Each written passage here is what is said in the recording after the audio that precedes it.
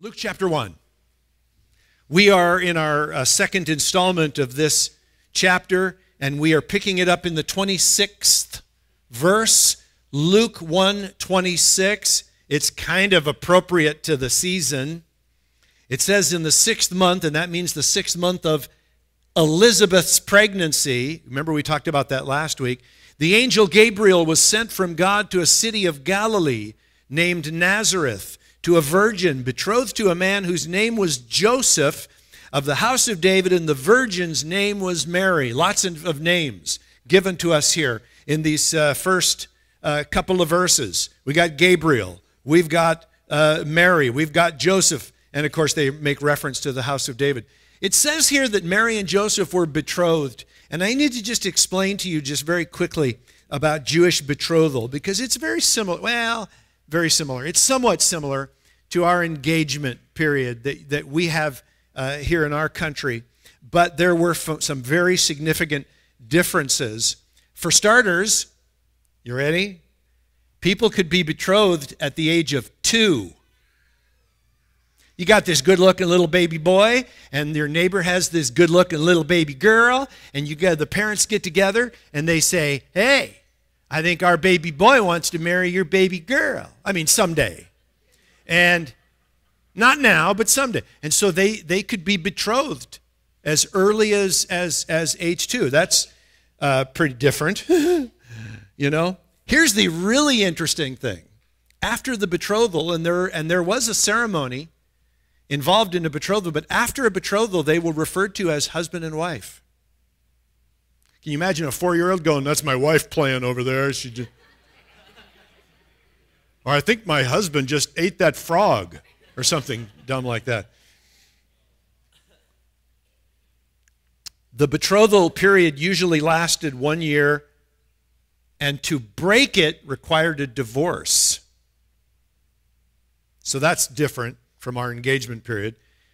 Furthermore, if uh, a man died while betrothed, but before getting actually married, his wife would be considered his widow, interestingly enough. So these things usually took about a year to play out before the wedding ceremony. And we know here from this passage that Joseph and Mary were in that one year, usually one year betrothal period, if they were betrothed, uh, betrothed as adults. And it tells us here that during that time, Gabriel came to visit Mary. Look at verse 28. And he came to her and said, Greetings, O favored one. The Lord is with you. But she was greatly troubled at the saying and tried to discern what sort of greeting this might be. In other words, she wanted to know what the purpose of the visit was. And who can blame her? If you had an angel show up in your bedroom, you'd probably go, What are you doing here? Right? I mean, that's the most natural thing in the world. And so she's wondering what this is all about. Verse 30. And the angel said to her, Do not be afraid, Mary, for you have found favor with God. And behold, you will conceive in your womb and bear a son, and shall call his name Yehoshua. I know that's not the name that's written in your Bible, but that was the Hebrew name that the angel would have spoken to Mary. You and I know it better as Joshua. Very common name, by the way, even then. The Greek form, of course, being Jesus. But we're told a lot more than just about the fact that there's a baby to be born. The fact is, the angel said, You will conceive in your womb and bear a son. And what we learn from that is a, is, is a confirmation of the real humanity of this one who, you know, has, is being given from the Lord to be as what we know to be our Savior. We understand here that He is and will be born in that sense as a complete and total human. And that is significant, by the way, because we know, you and I know, that He is going to come represent us. He's going to identify with us as he begins his ministry. And that's what his water baptism was all about identifying with sinful man. And then he's going to, having identified with us, he's going to represent us on the cross. He's going to say, I, I willingly represent all of mankind. Well, guess what? Only a man can do that. Only a human being can do that. So you see, to understand the humanity of the Son of God is vitally important as it relates to understanding our salvation and his representation of us on the cross. We see that. Verse 32, the angel goes on and says, He will be great. And that, of course, refers to both his person and his mission. By the way, no one hands down, has influenced human history more than the man Jesus Christ. No one. He goes on to say he will be called the Son of the Most High, and that'll be his unique identity. The Son of the Most High God, the Son of the Most High God. Make no mistake, there's a clear declaration of his deity.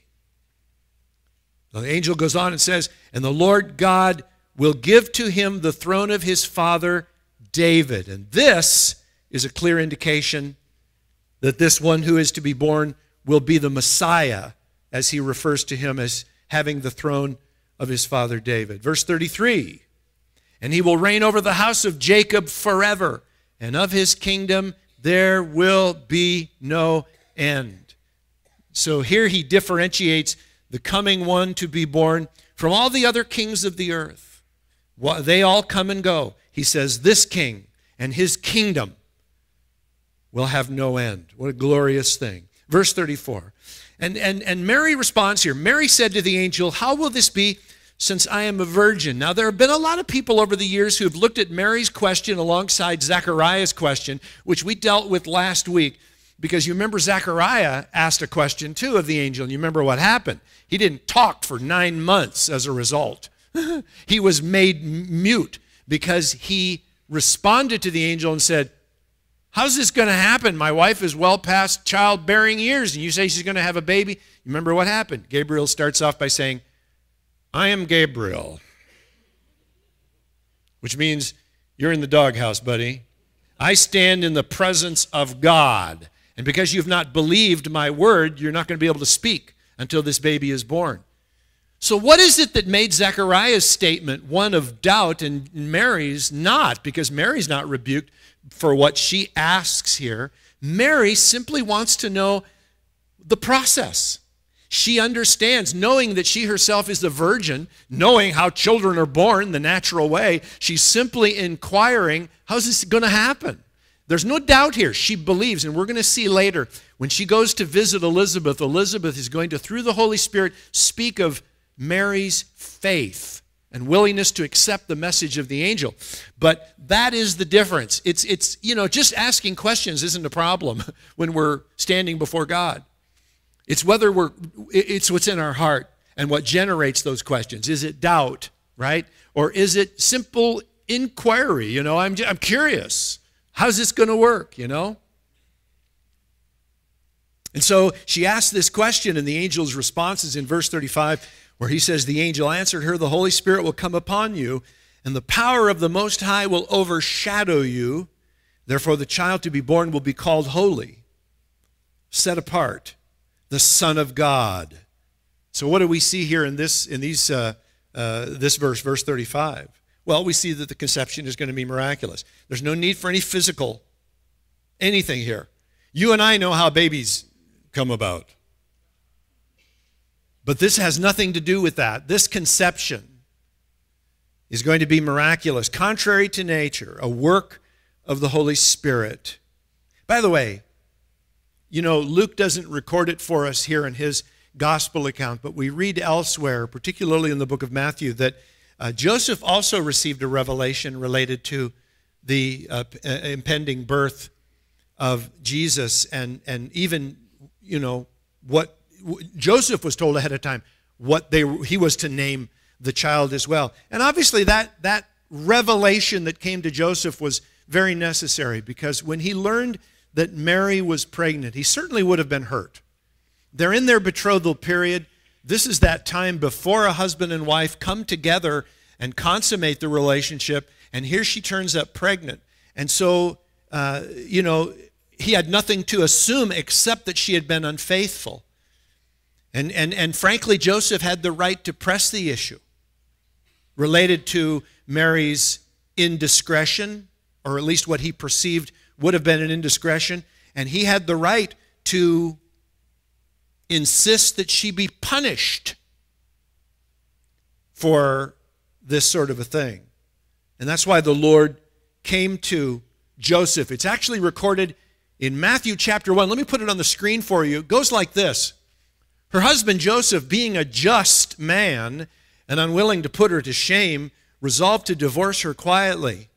But as he considered these things, behold, an angel of the Lord appeared to him in a dream, saying, Joseph, son of David, do not fear to take Mary as your wife, for that which is conceived in her is from the Holy Spirit.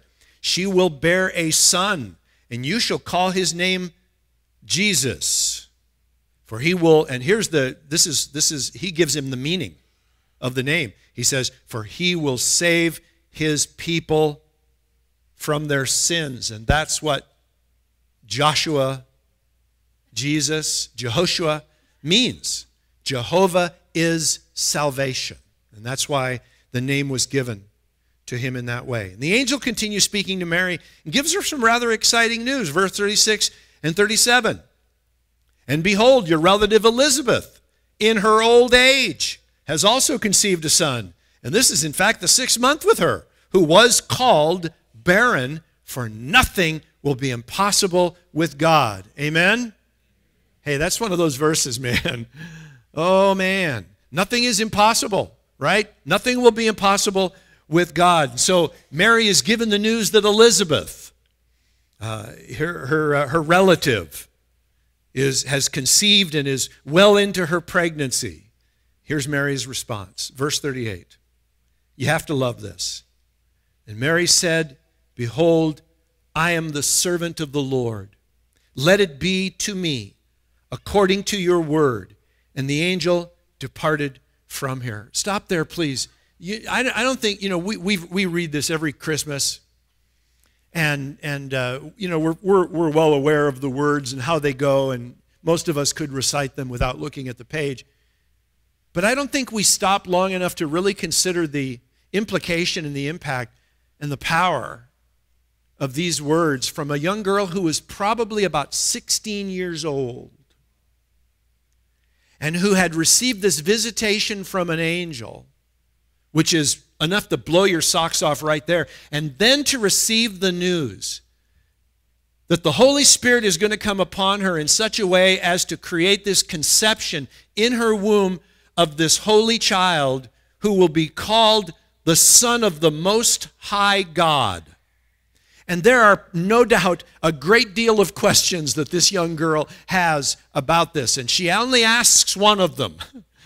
The rest of them, she basically leaves to God.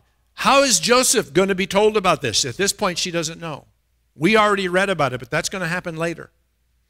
How is her family going to respond when they find out that she's with child? She's in her period of betrothal. What are they going to say? What are they going to do? Is her life going to be in danger because of this in some way, shape, or form? But you know, instead of insisting upon answers, which you and I often do, when we are facing the unknown, Mary simply says, Let it be to me according to your word. And what we're talking here, guys, is faith. Faith. We get so whacked out about faith and so twisted around. Listen, faith isn't knowing what will happen. Faith is choosing to trust God when you have no idea what He's up to or how it's all going to play out. That's faith.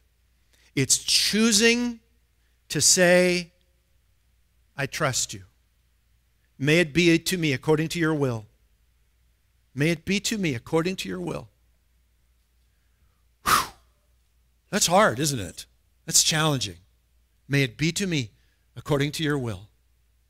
But that was the faith that this 16 year old girl had, which absolutely blows me away. When I was 16, I don't even want to go there. But I am so impressed with the godliness and the patience and the insightfulness of this young girl to trust the Lord. Goes on here in verse 39. And it says, In those days Mary arose and went with haste into the hill country to a town in Judah. And she entered the house of Zechariah and greeted Elizabeth. And when Elizabeth heard the greeting of Mary, the baby leaped, I like leapt, in her womb. I'm one of those weird word people. Anyway, and Elizabeth was filled with the Holy Spirit, and she exclaimed with a loud cry, Blessed are you among women, and blessed is the fruit of your womb. And, and, and when she says the fruit of your womb, that would lead us to believe that by the time Mary gets there to the house of Elizabeth and Zechariah, that she was already now pregnant. That the Christ child was already probably in her womb. Either way, Luke is preparing us for what Elizabeth is saying here. Uh, and, and by telling us in verse 41 that she was filled with the Holy Spirit. And that says something significant to you and I. It says that what she is saying now is by the work of the Holy Spirit. She's speaking by the Spirit. And that's why the Bible always uh, prepares you and I for what someone's about to say by saying, and filled with the Holy Spirit. Then it'll say, he or she said, right? That's telling you that this is by the inspiration of the Spirit. Okay? Now, some of you might be a little confused when you read this passage about the fact that Elizabeth was filled with the Holy Spirit. And the reason that might cause confusion in some people is because you may recall in some of our past studies that I have made it very clear that no one received the indwelling presence of, the, of God's Holy Spirit prior to Jesus' death, burial, and resurrection. And I stand by that. People were not indwelt by the Spirit prior to Jesus giving the Spirit, as we read about at the end of John's gospel account, when Jesus appeared to them on resurrection night, breathed on them, and said, Receive the Holy Spirit. Okay? That's when the Holy Spirit came in.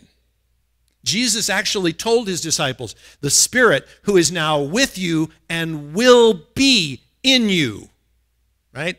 But the in of the Holy Spirit had not yet happened. And yet we read right here that Elizabeth was filled with the Holy Spirit. And I understand that that language can be a little confusing, but you need to understand that the terminology filled with the Holy Spirit is consistent throughout Scripture as referring to the work of the Holy Spirit to empower a believer supernaturally, sometimes to prophesy, sometimes to act on behalf of the Lord, or whatever the case might be. But please understand that being filled with the Holy Spirit is not the same thing as being indwelt by the Holy Spirit. The language can be confusing. But again, when you look in the scriptures at filled with the Holy Spirit, you're going to find that happened in the Old Testament. The Spirit came upon people and they were filled with the Holy Spirit, but they were not indwelt by the Holy Spirit in the same way that you and I are post resurrection, or all believers post resurrection. So you need to understand that. Filling is always connected with power to do, right? We are indwelt by the Holy Spirit once. When we come to faith in Jesus Christ, we are filled with the Holy Spirit repeatedly. And we see that in the scriptures. Let me show you just from the book of Acts on the screen here. Give you four examples. It says, All of the believers were filled with the Holy Spirit and began to speak in other tongues as the Spirit enabled them. By the way, that's a reference to the very first filling of the Holy Spirit upon the assembled believers. But they'd already received the indwelling presence of God on resurrection night. Now, then Peter, filled with the Holy Spirit, said to them, Rulers and elders of the people. Then he goes on to make a speech. But Luke wants you to know that he had been filled again with the Holy Spirit. And that's what moved him to speak. And then Acts 4:31, after they prayed, the place where they were meeting was shaken, and they were all filled with the Holy Spirit and spoke the word of God boldly. Acts 4:31 is referring to the same group of people that were in Acts 2. And so they were filled again with the Holy Spirit. And then Acts 13 9, talking about Paul. Then Saul, who was also called Paul, filled with the Holy Spirit, looked straight at Elymas and said, and that's telling you that he was empowered by the Spirit to say what he did. You'll remember what he said to Elymas was, You're going to go blind, buddy. Right? You remember that? Power of the Lord. So we see this happening repeatedly over and over. And here, Acts 13 9, where Paul speaks to this man named Elymas. Do you remember when Paul was first filled with the Holy Spirit? It was when that man came and laid hands on him, right? And said, Brother Saul, the Lord has sent me to lay hands on you that you might be filled with the Holy Spirit. But Acts 13 9 is talking about a new filling. The Greek language suggests this is new, this is fresh. Okay? So again, you need to understand that filled with the Holy Spirit is refers to empowering from God to do. Indwelt by the Holy Spirit, or the Spirit coming in to reside, to take up residence, happens once when you get saved. You are born again through the indwelling presence of the Holy Spirit. You are empowered when the Holy Spirit comes upon, and that is referred to the filling of the Holy Spirit. All right. Elizabeth goes on. Look at verse 43 with me and says, And why is this granted to me that the mother of my Lord should come to me? For behold, when the sound of your greeting came to my ears, the baby in my womb leapt for joy, and blessed is she who believed that there would be a fulfillment of what was spoken to her from the Lord. Did you hear what Elizabeth said? That last statement she said? Blessed is she who believed. See, that tells us that Mary did not doubt when she asked her question. She believed. And, and, and Elizabeth is speaking by the power of the Holy Spirit, right? Because she wasn't there. she wasn't there when Gabriel came and gave the message to her, right? But now Elizabeth, by the Holy Spirit, says, Blessed is she who has believed, you know, so forth. Now, as we get into verse 36, uh, 46, excuse me, we're going to hear Mary begin to speak, and this section is referred to as Mary's song, which is also known by its Latin name of the Magnificat. And by the way, Luke is, is very unique in his inclusion of these songs. We call them songs, although they didn't sing them, but we refer to them as songs because they're these beautiful, faith filled declarations of God's faithfulness. They're full of praise and and insight and so forth.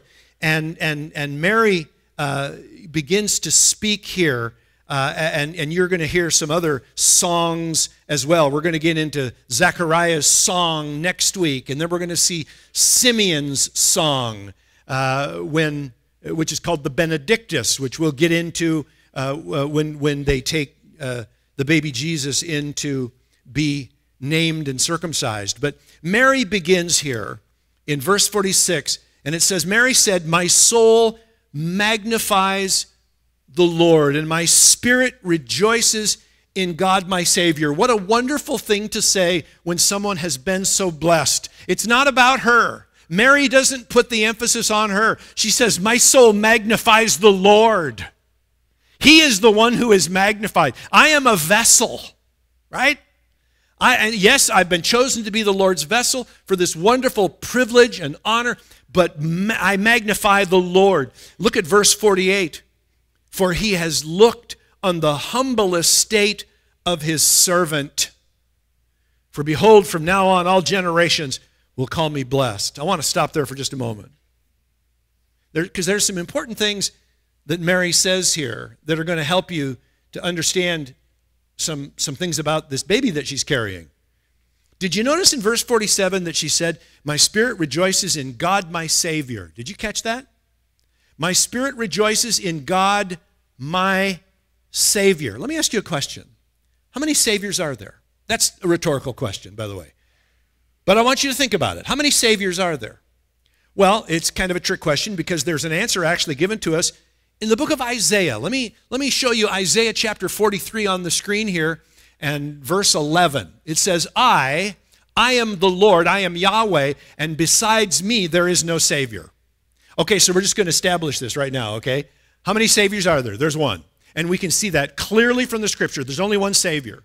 Now, what's interesting about that is you take that verse, and by the way, the Bible never contradicts itself, right? There, people, I love when people say, well, you know, the Bible's full of all kinds of contradictions. And I'd say, name one. Well, you know. They don't know any. It's just kind of a fun thing to say to deflect the conviction they're under. Anyway, you and I know what the Bible says.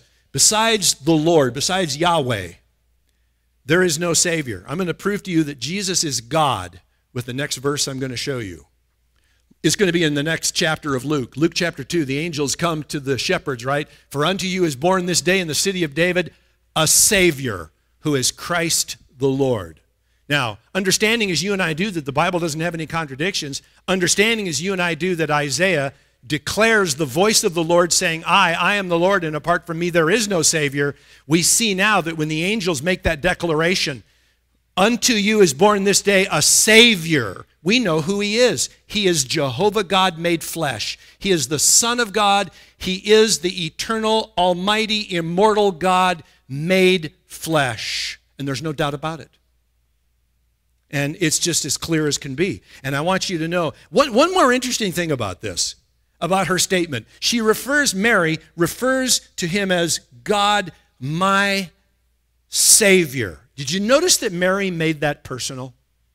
She didn't just say God the Savior. She could have said that. But she said, God, my Savior.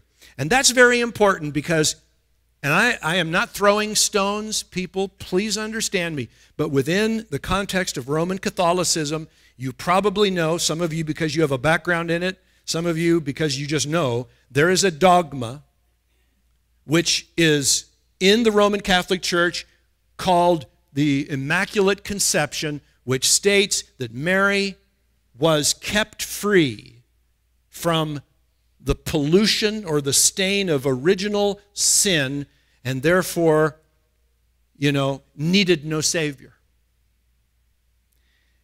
And yet, Mary refers here in this beautiful statement, this beautiful song, she praises God, my, my Savior. In other words, the one who saves me. The one who saves me.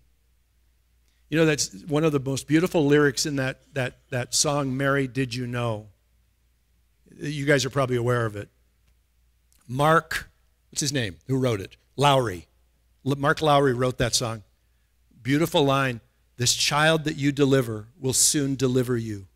Beautiful, beautiful statement. But Mary needed a Savior. That doesn't take anything away from her favored status. That doesn't take anything away from her beauty, her heart, her faith, and how we honor her, you know? But she was a human being. And as a human being, was born into sin like you and I are born into sin. There is nothing in the Bible that suggests that Mary was born sinless. Nothing. And it's important that you and I know that, not that we would argue with our Catholic friends, but that we would simply know the truth, right? I mean, Mary was an extraordinary woman. And in fact, she even says herself, All generations will call me blessed. And we do. We're still doing it today right? But there are things that Mary is not. For starters, Mary is not the mother of God. God has no mother.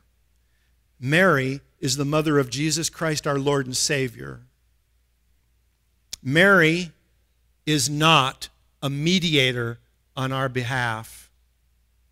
And there is nothing in the Word of God, not one single word about that. In fact, Quite the opposite. Let me show you 1 Timothy chapter 2 verse 5, for there is one God and there is one mediator between God and men, and that is the man Christ Jesus. And by the way, this verse not only speaks against the mediation of Mary, but it speaks against the mediation of any priest who would say, if you're going to confess your sins, you've got to do it through me.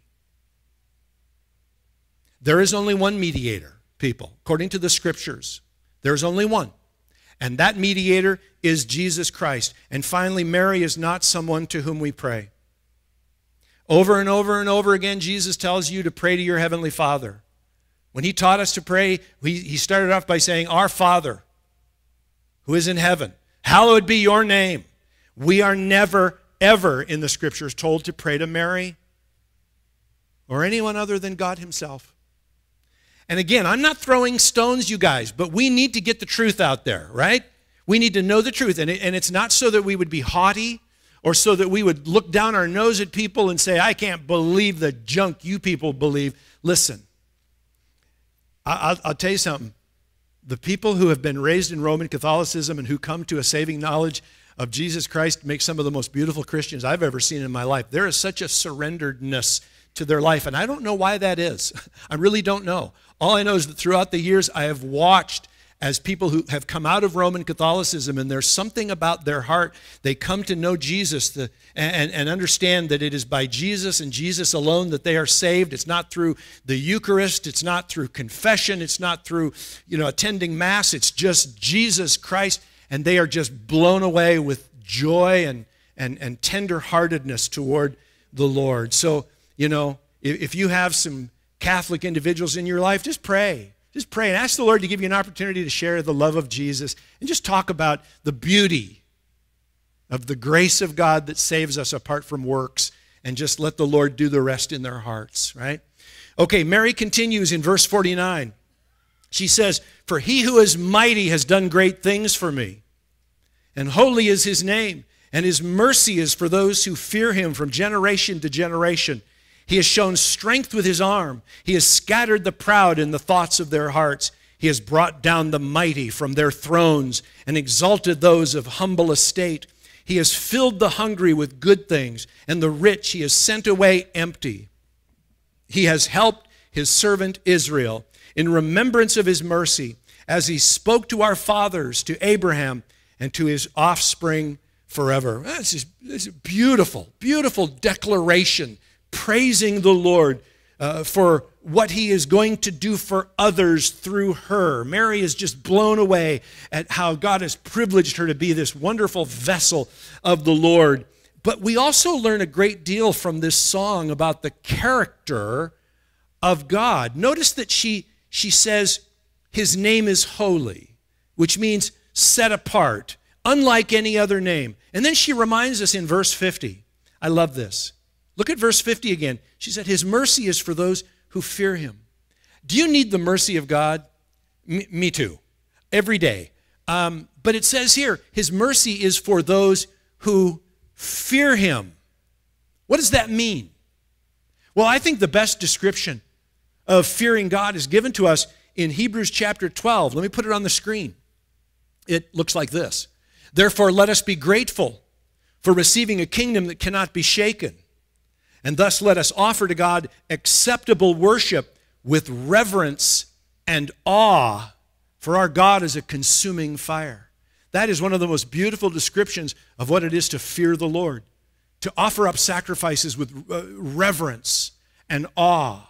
Because you know, the fear of the Lord is very different between a believer and an unbeliever, right? With an unbeliever, the fear of the Lord is truly a fearful, terrifying idea that they will be forever separated from him. But for you and I, the fear of the Lord is awe and reverence toward him. And, and Mary says in her statement that mercy is for those who have that. And, and, and then she speaks of other aspects of his character in verse 51. She says, He has shown strength with his arm, scattered the proud in the thoughts of their hearts, people who just think that they know everything. He's brought down the mighty from their thrones and exalted those of humble estate. Notice bringing down, exalting. Verse 53 He has filled the hungry with good things. What's the opposite? And the rich he has sent away empty. You see the opposite there. And, and, and, and what we see in this is an expression of God's character.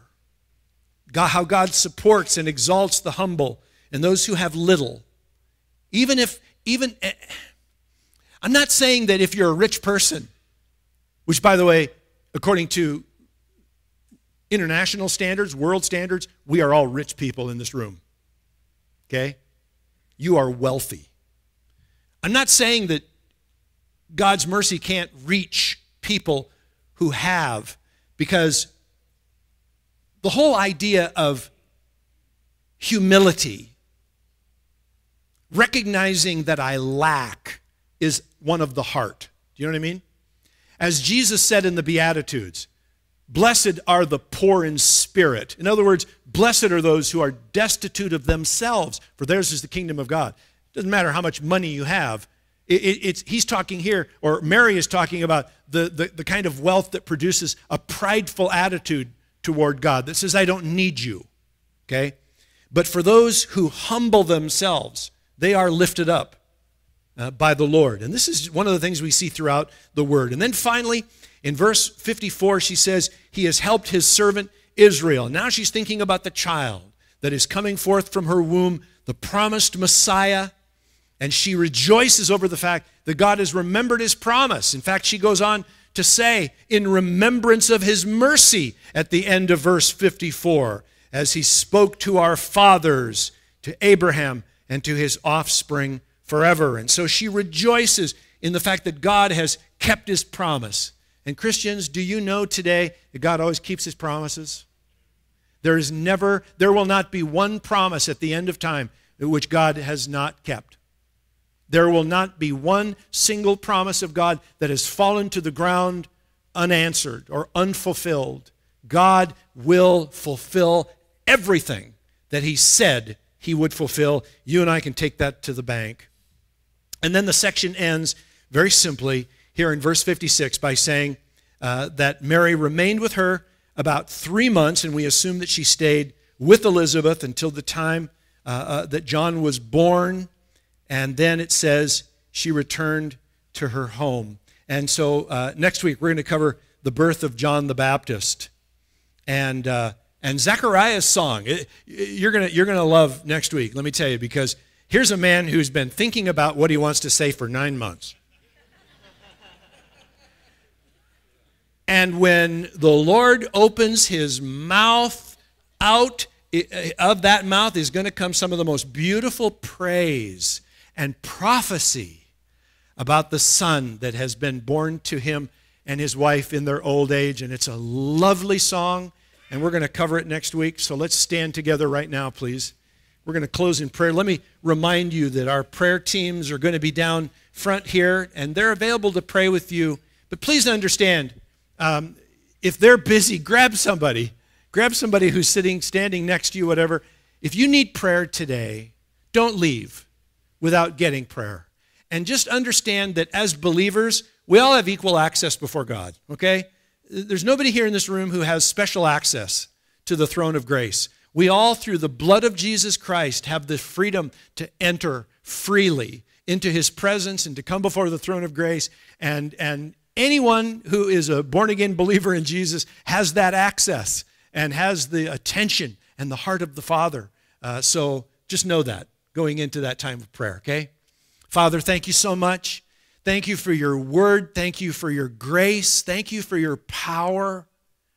Jesus, as we read these words, as we read about this, these beautiful statements at the declaration from the angel to Mary that she would conceive a child and her response, and then Elizabeth's beautiful statement of praise when, when Mary arrives in her home to Mary's lovely song of praise and, and declaration of God's character. What beautiful things we see, what insightful things we learn about who you are and what you've done and what you will do, how faithful you are, how glorious is your splendor. Lord God, as we go into 2019, help us to take this heart of faith in with us to speak with the kind of faith that Mary spoke with. May it, may it be unto me, Lord, according to your will. May our lives reflect you. May we be a glory to you in this coming year. May we be your humble vessels who share the love of Jesus with those with whom we come in contact. We thank you for your love your grace and your power through Jesus Christ, our Savior and King. Amen.